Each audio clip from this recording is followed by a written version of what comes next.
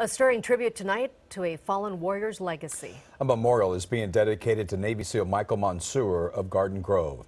A dedication ceremony was held in Garden Grove High as fitting as Monsoor once played football there. Orange County reporter Stacey Butler is live now in Garden Grove with more on that special honor. Stacey?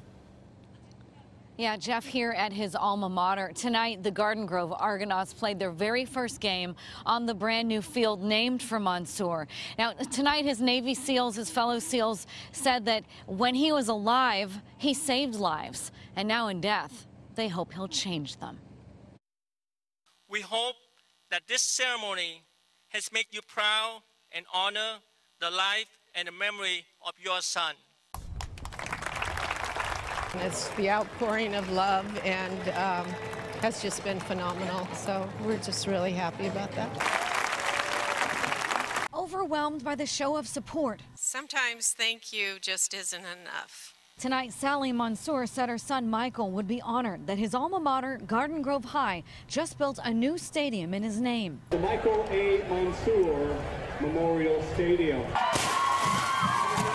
The Navy SEAL was killed during Operation Iraqi Freedom when he jumped on a grenade protecting his fellow SEALs in combat. Monsoor received a long list of awards, including the Purple Heart, the Medal of Honor, and the Silver Star. Michael's an example of the kind of heroes that we need today. In a celebration befitting a war hero tonight, the Patriot parachute team swooped onto the new Monsoor field to honor him. His mom hopes her son's example of service and sacrifice will create a legacy for future high schoolers.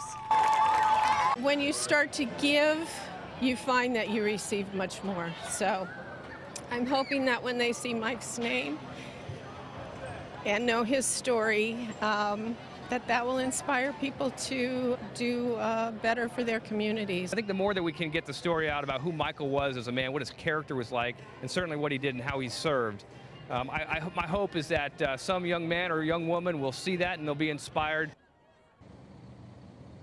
Now, certainly Monsoor's memory lives here. In addition to the stadium, the school already has a huge wall in his name.